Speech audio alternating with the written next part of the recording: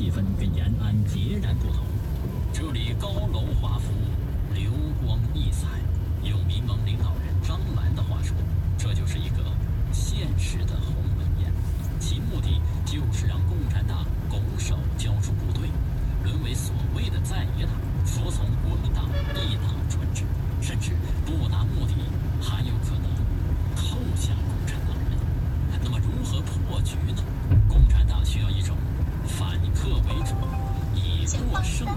的策略。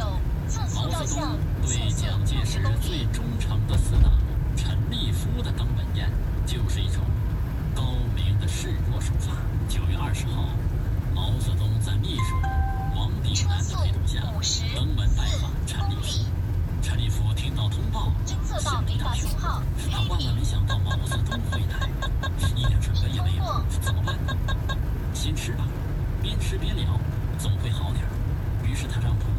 仆人火速的送来点心。毛泽东又说起随后的国民党的围剿。所谓石头过刀，茅草过火，厉害的很呐！我毛泽东被追得东奔西跑，好不难堪哟。毛泽东知道陈立夫亲身参与了这件事，也知道陈立夫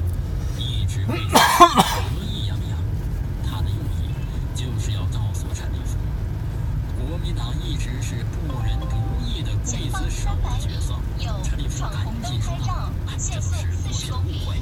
大家都靠认识。”先看见陈立夫有些紧张，毛泽东转了一下语气，跟陈立夫开了个小玩笑。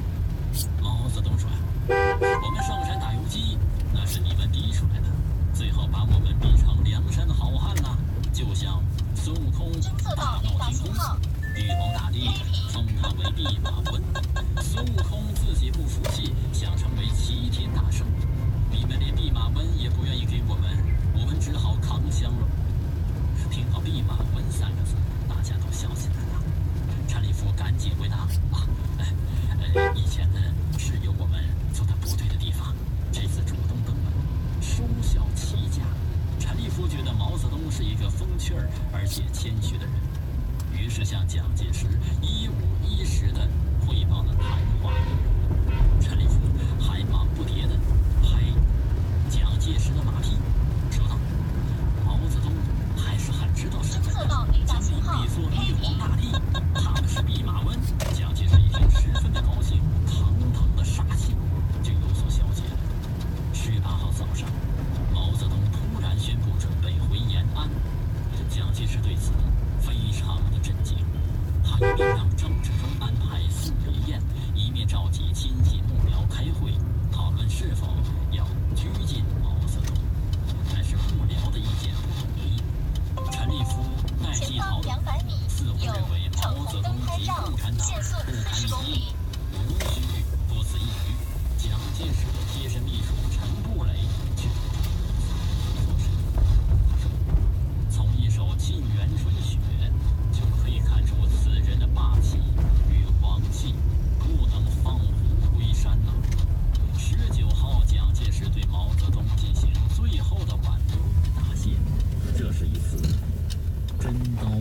枪的朋友虽然迄今为止还没